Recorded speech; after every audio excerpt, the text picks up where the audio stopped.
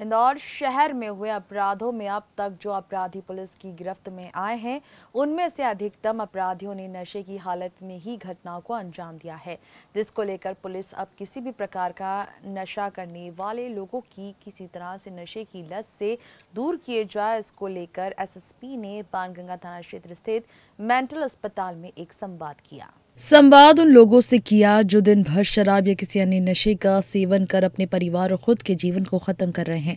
ऐसे लोगों से आज एसएसपी रुचिवर्धन मिश्र ने चर्चा कर यह शपथ दिलाई कि अब आगे से नशा नहीं करेंगे।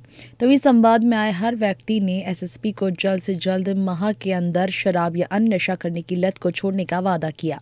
ये मैं सबकी जानकारी के लिए बताना चाहती हूँ कि मानसिक चिकित्सालय में एक विंग है जो नशा मुक्ति पे काम कर रही है, इसलिए मानसिक चिकित्सालय से सभी लोग ये ना समझे कि यहाँ से विक्षिप्त लोगों का इलाज होता है। यहाँ इनकी डी एडिक्शन विंग है, जहाँ पर ये नशा छोड़ने के लिए मेडिकेशन और काउंसलिंग की मदद नीडी जो लोग हैं, उनको देते हैं। उसमें पिछले कुछ समय में चर्चा हुई थी डॉक्टर राजदान साहब से और उनको ये बात बताई गई थी कि पुलिस कई बार ऐसे लोगों को जो नशे के आदि हैं, उनको पकड़ती है या वो संपर्क में आते हैं पुलिस के, लेकिन उनको कोई स्थायी समाधान, नशा मुक्ति की ओर नहीं मिल पाता है। उसके तहत ये मानसिक चिकित्सालय के साथ में इंदौर पुलिस ने एक इनिशिएटिव शुरू किया है कि हम ऐसे लोगों को चिन्हित करके उनको हम जो इनका डी एडिक्शन विंग है, इसमें हम इलाज के लिए उनको उपलब्ध कराएँगे। और उसी के तहत ये आज पहला यहाँ पर प्रयोग किया गया है। इसमें करीबन 80 लोग ऐसे पुलिस के द्वारा चिन्हित किए गए थे, जो किसी न किसी प्रकार के नशे के आदि हैं और उनको यहाँ भी समझाइश दी गई है। उसमें से लगभग 70 लोग स्वेच्छा से नशा छोड़ने के लिए आगे ये जो इलाज यहाँ इनको डी एडिक्शन